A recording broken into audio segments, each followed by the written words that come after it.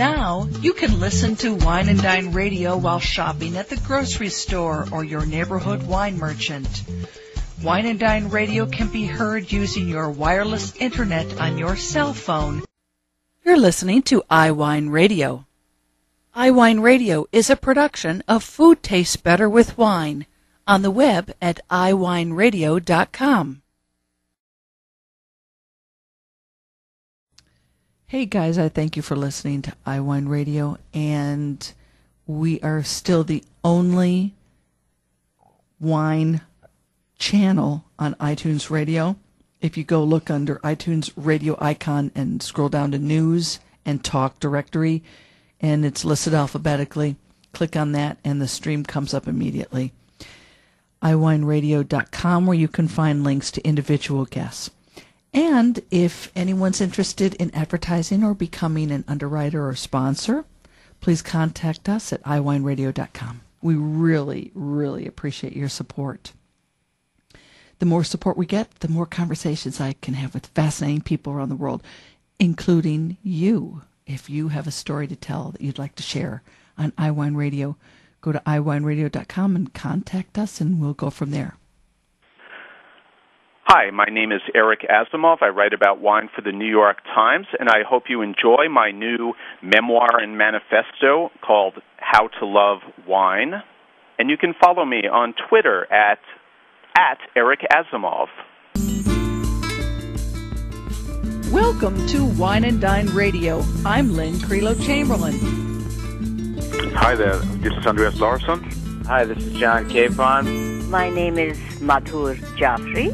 Hi, my name is Heike Platter. I'm from the Alto Adige region or Südtirol. Hi, my name is Paul Dolan. I am absolutely passionate about growing organic and biodynamic fruit for our wines. Hello, my name is Lorena Garcia.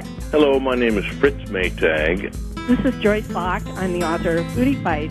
Hi, this is Lydia Mondavi, founder of 29 Cosmetics. Cheers, this is Rob Barnett, CEO and founder of VinVillage.com, where wine lovers connect.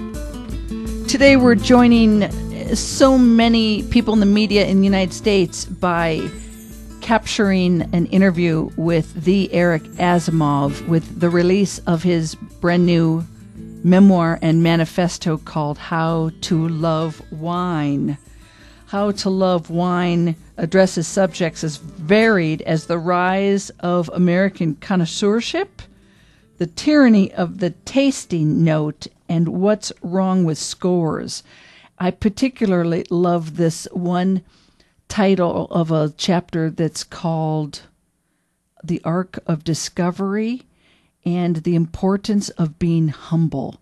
And that is so, so very true. I'm quoting from Hugh Johnson. Eric Asimov sees through the snobby froth of 100 point scores and tutti fruity tasty notes and another one from Danny Meyer, layered with logic. And I, I am uh, tend to be more left brain myself, and so Eric, I, t- I, I agree with your approach wholeheartedly. And get rid of uh, so much of the emotion, but of course the the pleasure is rooted in in the emotion. So, how does one dispel wine anxiety? That's your chapter one. Well, I, I just want to say, first of all, that I'm, I'm very happy to speak with you, Lynn, but I don't propose at all to get rid of the emotion. The whole point of the book is to restore the emotion. The, the, the premise of the book is that um, we've we've conveyed to the American people, for the most part, that in order to simply enjoy wine, you have to know everything about it. In effect, become a uh, a, a connoisseur before you can enjoy yeah. wine. Yeah. And my feeling is that this formula is entirely backwards. That you have to develop an emotional attachment to wine, uh, to to to wine. You have to fall in love with it, and then if you feel compelled to plunge more deeply into wine, you can. But you've established that initial relationship, and you can enjoy it on the simplest level that way without so much anxiety. Do you think that, well, based on your life experiences, that this uh, this building a relationship with wine in large part, is based on just moments in your life and memories of, of wines that you consumed at what moment in your life and you know you didn't have a lot of money and what wine did you get and how did that uh, bring that moment in your life to be so significant that you remembered it well, I think that's one of the uh, essential features about wine, and, and one that makes it uh, such a, a singular beverage. It it uh, it brings back memories. It stands for for times and places and people and and meals, and um, but for me, the most important thing in in sort of uh, uh, uh, feeling comfortable with wine is is developing is starting to think of it as something ordinary rather than than something uh you know reserved for Saturday nights yeah. or, or celebrations or or something like that. That just kind of contributes to the uh, the pedestal that we yes. put it on. But if you have it on your your dinner table uh, nightly, as it was meant to be, uh, just a simple uh, accompaniment to food and family or friends, uh, conviviality. Uh, then it becomes less uh, mysterious and uh, less intimidating. And when you can kind of embrace the the ordinary thing about wine, then you sort of open yourself to what's extraordinary about it. I keep uh, right at this moment. I'm thinking of a book that I read several years ago that was on the history of uh, World War II and what was going on in France. And I remember that people in uh, uh elderly in particular it was a major problem that their wine allocation was reduced or taken away from them which was such a part of their daily caloric intake and wine being such a huge part of the culture and the daily living that I love your expression that it is so ordinary. It's just a part of the fabric of life.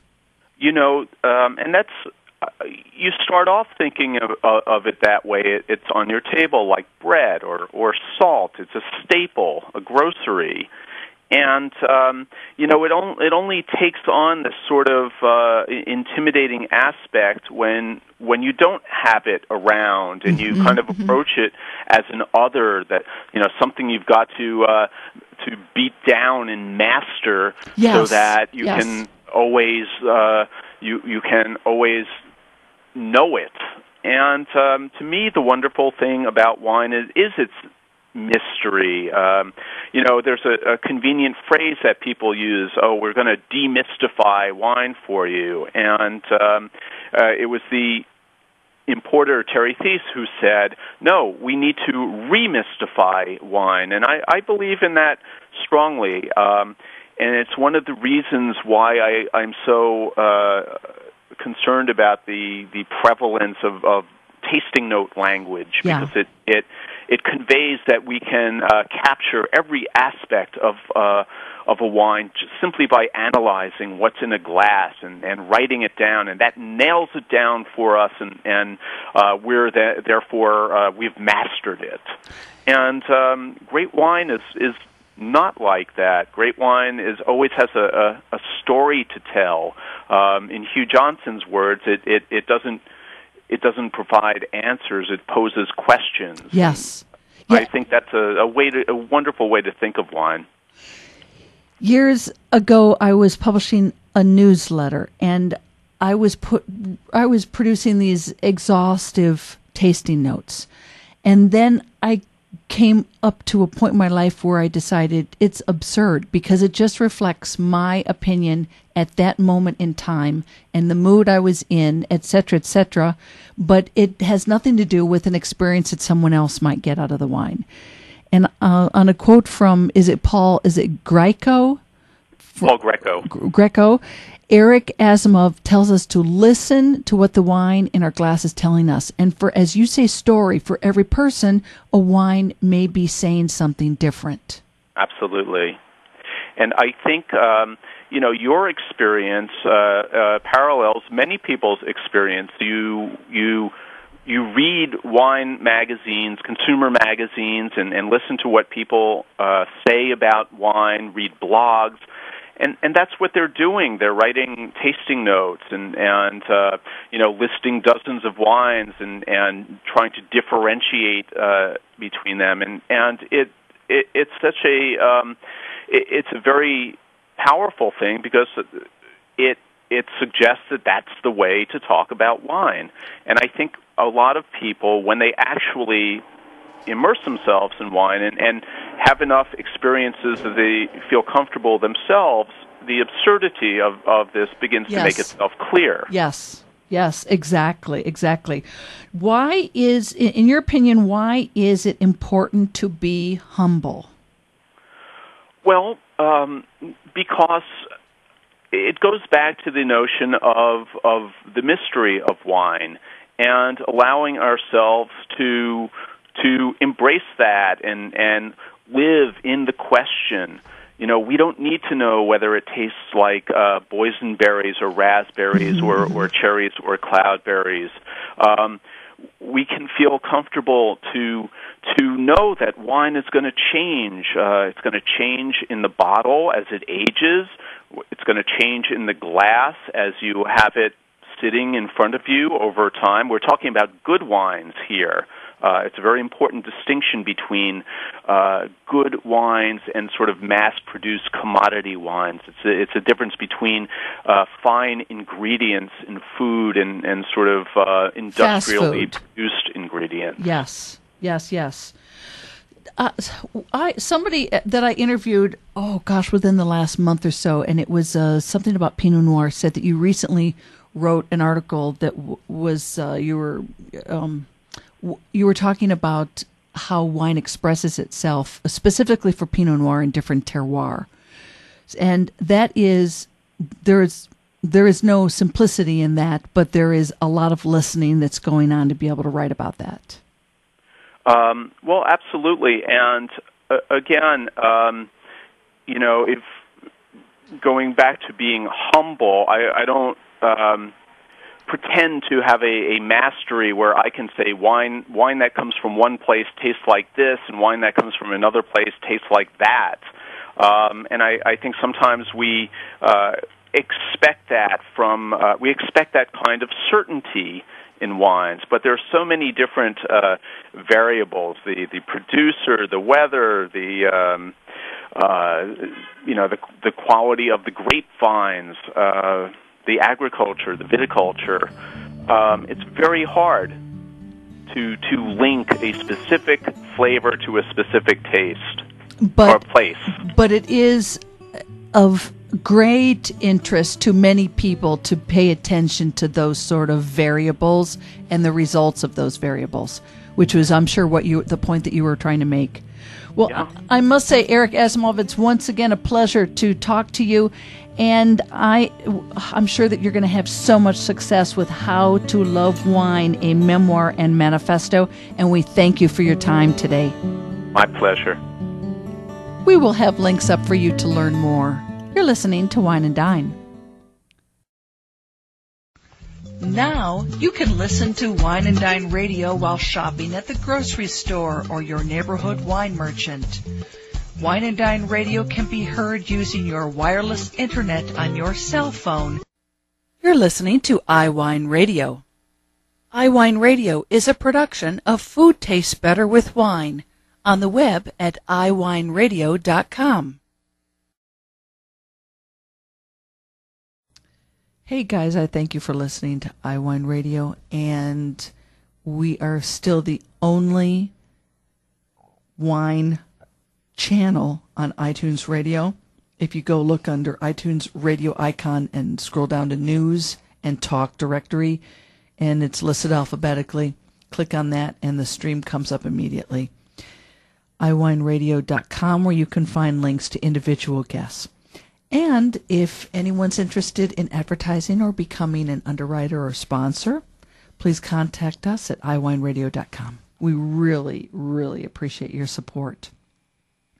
The more support we get, the more conversations I can have with fascinating people around the world, including you. If you have a story to tell that you'd like to share on iWine Radio. Go to iWineRadio.com and contact us, and we'll go from there.